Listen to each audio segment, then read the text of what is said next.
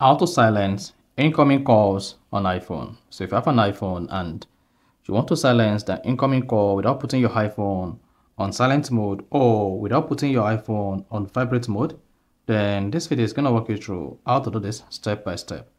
So if none of this, you found this often informative, please don't forget to like and subscribe. So let's say you have an incoming call on your iPhone and I want to silence the incoming call on your phone. All you just need to do is just press either of the volume button so just press it once.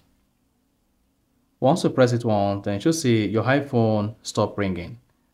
And you can either pick up the call or disable the call. You see that?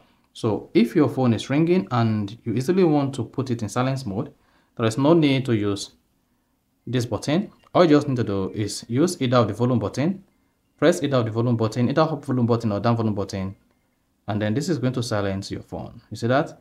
So that is basically how to silence incoming call on iPhone. So if you found this offer informative, please don't forget to like and then subscribe.